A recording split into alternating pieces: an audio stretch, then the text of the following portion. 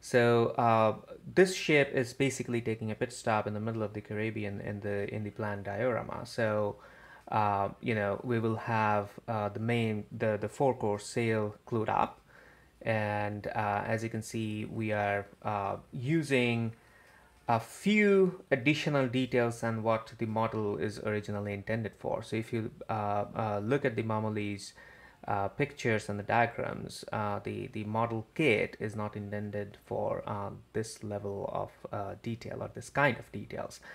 So um, what we have done here is pretty straightforward, not, not much. We have the two clue garnets to pull the sail up. We have the bunt lines on each side and we have the leech lines uh, on each sides. So you, you don't have the reef tackle, you don't have two bunt lines, but uh, uh, this is, uh, in, in my mind and based on my research, is realistic uh, for a pirate ship to take a quick pit stop uh, in, in middle of the Caribbean. So here we go. So step by step on how I'll be cluing the fore course sail on this particular ship.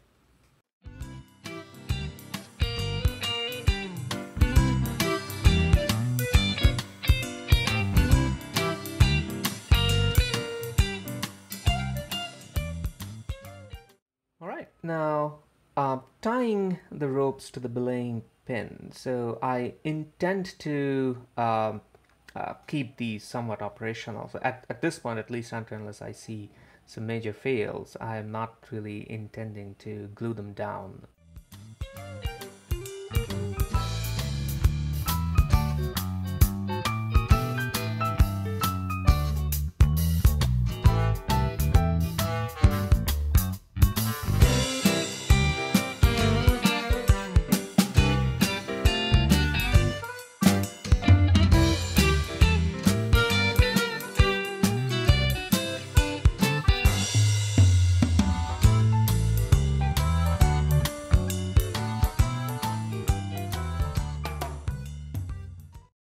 First one is always tricky because since you're really dealing with very light threads here.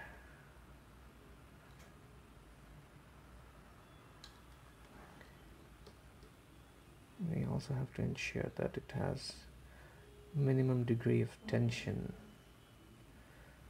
It doesn't open easily. All right. That's it. So two clue garnets are done. So now moving on to the rest of the lines. All right, so moving on to the leech line.